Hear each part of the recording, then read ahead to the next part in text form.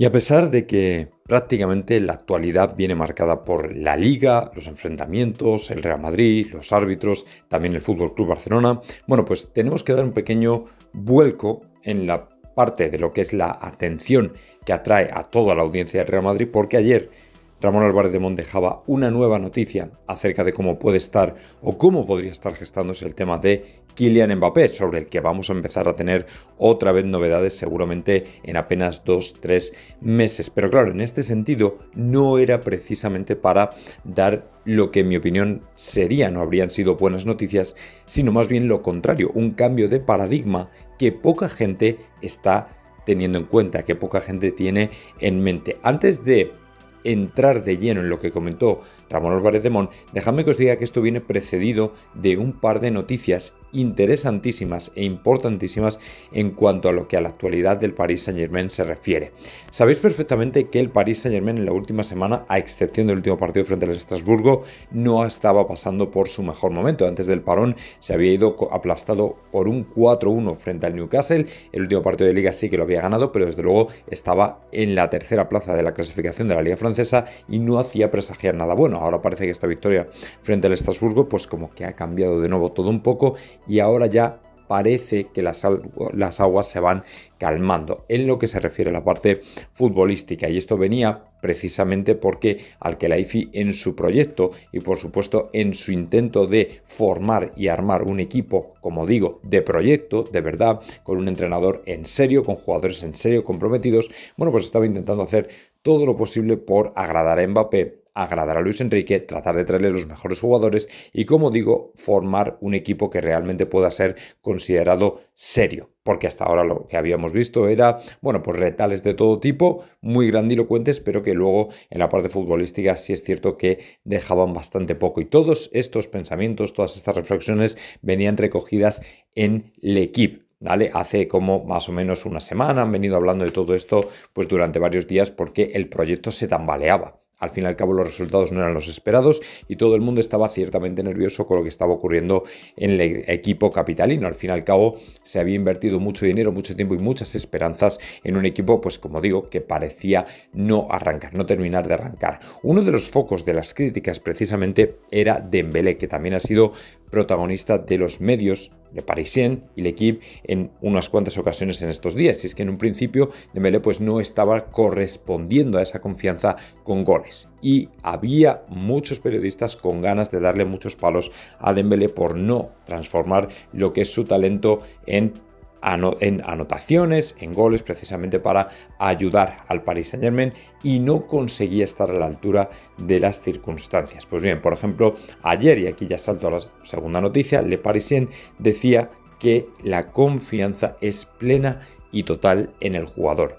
Luis Enrique es un tipo que, bueno, pues más o menos, aparte de su experiencia como entrenador, sabe identificar el talento y muchos vemos que efectivamente Dembélé es un gran talento, eso por supuesto, pero el problema es que cuando vienen los momentos importantes, momentos difíciles, es cuando parece que no termina de arrancar. Pues bien, a pesar de eso, Le Parisien decía que el jugador sigue contando con todo el apoyo del entrenador y este a su vez con todo el apoyo de la directiva, o sea que a pesar de que sus números no son los mejores, Dembélé va a seguir adelante. Hay que recordar, hay que retrotraerse a hace unos meses cuando el propio Kylian Mbappé elogió a Dembélé por delante incluso de Messi y Neymar. Decía que era un talento descomunal, uno de los mejores jugadores con los que había jugado y que precisamente por eso mucha gente pensaba que este iba a ser la delantera del siglo con Kylian Mbappé y Dembélé. ¿Qué ocurre? Que Dembélé era uno de los deseados, de los queridos, de los jugadores llamados a retener, entre comillas, a Kylian Mbappé porque era uno de sus favoritos, al que la IFI supo verlo y supo aprovechar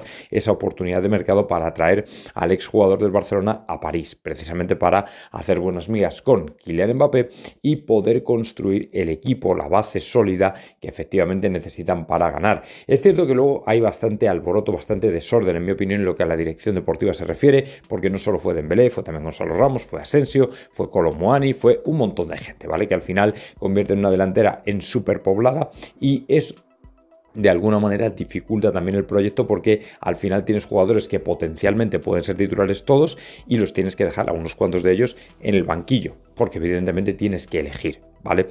Entonces, ya con este contexto que os he dado, paso a la última noticia que es la de Ramón Álvarez de Mon sobre el futuro de Kylian Mbappé.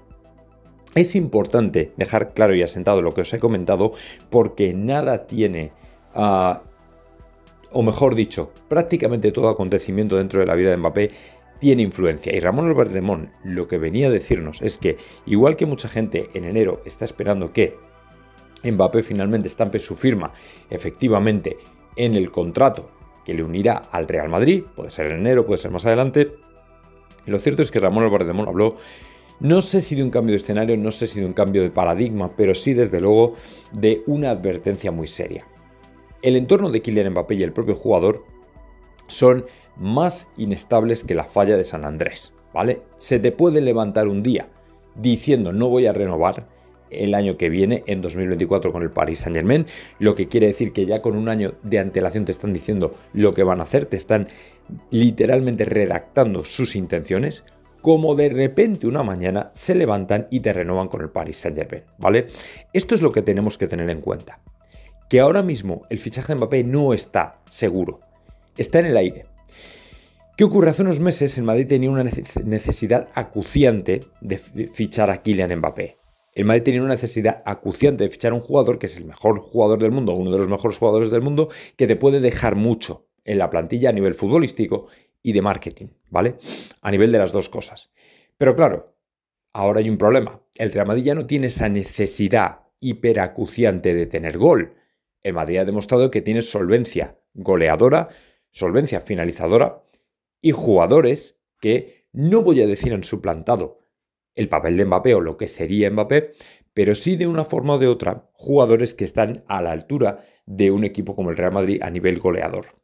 Es decir, que la necesidad ha decrecido.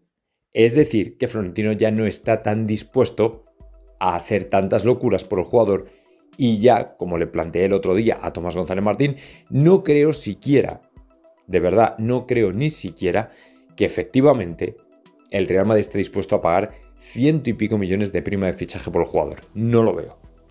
Porque como he dicho, ya no existe esa necesidad. Entonces, Ramón Álvarez de Mon venía a establecer que mucho cuidado. Mucho cuidado porque tanto Mbappé como su entorno son tremendamente inestables y prácticamente nadie sabe a ciencia cierta si efectivamente Kylian Mbappé se va a unir al Real Madrid bien en enero a través de julio, o mejor dicho, julio a través de enero, o bien en julio, o bien no se une nunca.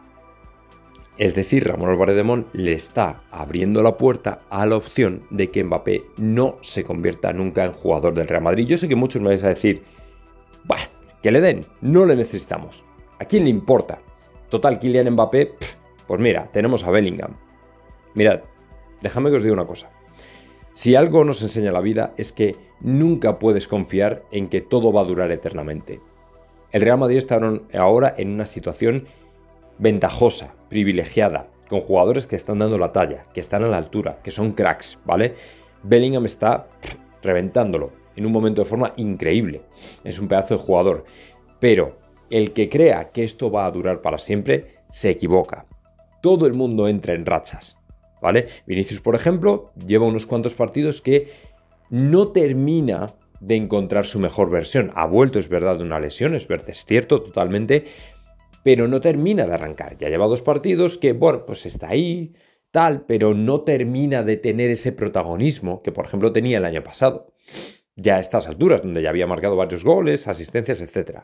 Entonces, el Real Madrid no puede creerse que porque ahora le vaya bien, siempre le va a ir bien. ¿Me entendéis? El Real Madrid tiene que fichar profesionales en su sitio. Y profesionales en su sitio significa gente como Kylian Mbappé o Erling Haaland liderando el ataque del Real Madrid. O sea, el, el, retal, el apaño que hemos hecho, de momento nos ha salido bastante bien, nos está saliendo muy bien, pero no podemos pensar que esto va a durar toda la vida. ¿Me entendéis? El Madrid no se puede comportar como, ah, bueno, pues si esto me funciona, pues ahí me quedo. No. Daos cuenta de que Rodrigo no termina de marcar, o sea, es que no termina de meterlas. Y lleva cinco años en el Real Madrid. Número uno. Si Vinicius entra, ojo, que lo de Vinicius puede ser simplemente un bache y ya está, pero los baches existen. Los baches existen, las malas rachas existen. Vinicius lleva dos temporadas eh, intratable, intratable a nivel de números, de producción anotadora, está espectacular, pero alguna vez le llegará alguna mala racha también. Y claro, lo de Bellingham tampoco, quién sabe, a lo mejor tampoco es para, o simplemente entra en un pequeño bache también, se pega 3-4 partidos y otra vez volvemos a las mismas, ¿me entendéis? Entonces el Real Madrid no puede dejar que esto pase. En el sentido de si él no quiere venir, si Mbappé no quiere venir, perfecto, pasamos de él y ya está. No hay problema, pero no debemos de dejar de buscar un delantero. ¿Me entendéis? Ese, es, ese es mi punto. O sea, no es matarnos por traer a Mbappé, ¿cierto? Pero tampoco decir, a mí ya Bellingham me funciona, pues yo ya paso. Bellingham tengo ahí, a Vinicius ahí, pues ya con eso paso, ya tengo suficiente. No, cuidado. Cuidado que existen las malas rachas, existen los baches, existen los jugadores que se vienen abajo. O sea, que todo el mundo estaba espectacular creyendo que Rodrigo iba a ser la manacea y, mirad lo que está pasando. O sea, son cinco años de un jugador, ¿vale? Desde Zidane que no termina de arrancar. Y estuve en su competencia con Asensio y tal y cual, y se fue Asensio y tampoco termina de romper. Y puede ser que a lo mejor en los entrenamientos sea un tío con un talento, con un... Es, lo que quieras, pero es que luego no me lo, no me lo traduce en, goles. En, ¿Me entendéis? Entonces, mejor que no nos la... Que no, que no nos confiemos demasiado. Porque no sería una buena idea.